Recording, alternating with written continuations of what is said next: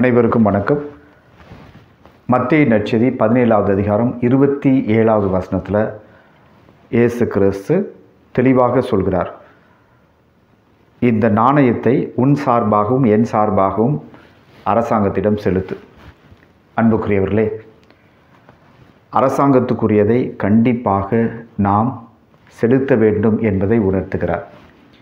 அரசாங்கம் என்பது நாம். நாம் கொடுக்கின்ற அந்த வரி பணம் சரியான விதத்தில் கொடுத்து விட்டோம் என்றால் அது திரும்பவும் அரசாங்கத்தின் மூலமாக மக்களுக்கு நலன்களை உண்டாக்கும். அதனால்தான் கடவுள் தெளிவாக எடுத்துரைக்கிறார். அரசாங்கத்துக்குரியதை சரியாக கொடுத்து விடுங்கள்.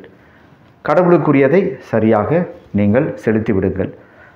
இரண்டையும் நாம் சமமாக பார்க்க வேண்டும். அரசாங்கத்துக்குரியதை சரியாக நாம் கொடுத்தோம் என்றால் நலத்திட்டங்கள் நிறைய நம்முடைய நாட்டிற்கு கிடைக்கும். இதன் மூலமாக நாடு வளர்ச்சி பெறும். அதனால்தான் கடவுள் அதற்கு எதிராக எதுவுமே சொன்னதே கிடையாது. சரியாக உங்களுடைய வரி பணத்தை செலுத்துங்கள் என்பதைத்தான் இந்த வாசகத்தின் மூலமாக இறைவார்த்தையின் மூலமாக நமக்கு எடுத்துரைக்கிறார். அதை நாம் செய்வோம். நன்றி வணக்கம்.